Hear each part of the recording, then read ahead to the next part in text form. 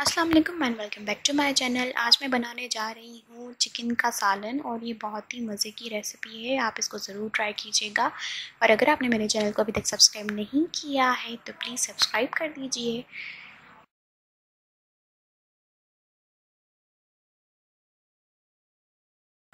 यहाँ पे सबसे पहले मैं देगची में डाल रही हूँ क्वार्टर कप ऑयल ऑयल डाल देने के बाद अब यहाँ पे मैं डाल रही हूँ प्याज। प्याज मैंने तीन लेकर उनको चॉपर में चॉप कर लिया था और अब मैं इसको, इसमें डाल रही हूँ और मैं इनको जो है वो अब फ्राई करूँगी। जब तक है जो प्याज का कलर है वो चेंज हो जाए और ये गोल्डन ब्राउन होने लगे। फ्लेम मैंने इसकी मीडियम रखी हुई है अभी।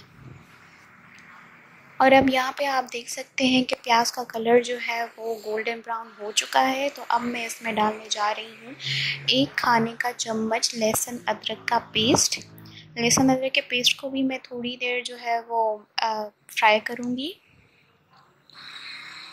थोड़ी देर फ्राई कर देने के बाद अब यहाँ पे मैं इसमें डाल रही हूँ चिकन चिकन मैंने जो है वो आधा किलो लिया था। और अब यहाँ पे मैं चिकन की भी अच्छे से बुनाई करूँगी दो से तीन मिनट के लिए। दो से तीन मिनट बाद अब मैं इसमें डालने जा रही हूँ टमाटर और फ्लेम मैंने हाई की हुई है। टमाटर मैंने चॉप कर लिए थे। और अब मैं इसमें डालने जा रही हूँ मसाले। मसालों में यहाँ पे मैं डाल रही हूँ हल्दी हाफ़ टी स्पून हल्दी के बाद अब यहाँ पे मैं इसमें डाल रही हूँ नमक हंसपे जायका नमक डाल देने के बाद अब यहाँ पे मैं इसमें डाल रही हूँ लाल मिर्चों का पाउडर, एक खाने का चम्मच। और अब मैं इसमें चमचा चला रही हूँ क्योंकि इसकी फ्लेम मैंने हाई रखी हुई है और ऐसे रखूँगी तो फिर ये जल जाएगा। अब इसमें मैं डाल रही हूँ ज़ीरा हाफ़ टी स्पून ज़ीरा डाल देने के बाद यहाँ पे मैं इसमें डाल रही हूँ क्वार्टर टी स्पून गरम मसाला और आखिर में मैं इसमें डाल रही हूँ डेढ़ टी स्पून करी पाउडर। मैंने शान का जो है वो कौरमा मसाला लिया था जो मैं इसमें अभी डाल रही हूँ।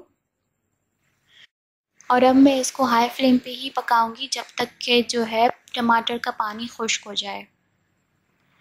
और यहाँ पे आप देख सकते हैं कि टमाटर का पानी खुश्क हो चुका है तो अब मैं इसकी जो है वो अच्छे से भुनाई कर दूँगी। चिकन के सालन में वैसे भी मसाला इतना यकजा तो नहीं होता, पर फिर भी जितना हमसे हो सके हम तो करेंगे।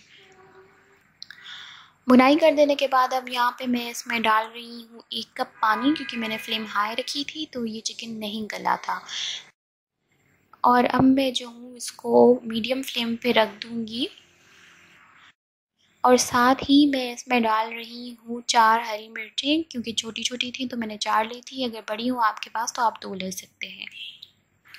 और अब मैं इसको मीडियम फ्लेम पे ही पकाऊँगी जब तक कि चिकन जो है वो अच्छे से गल जाए।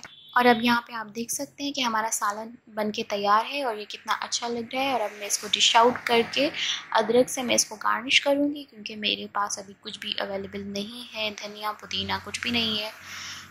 अगर आपको मेरी वीडियो पसंद आई हो तो लाइक शेयर और सब्सक्राइब कर दें। और अगर आप मेहंदी में इंटरेस्टेड हैं तो मेरे दूसरे चैनल को भी सब्सक्राइब कर दें। लिंक आपको डिस्क्रिप्शन बॉक्स में मिल जाएगा। Thank you for watching this video अल्लाह हाफिज़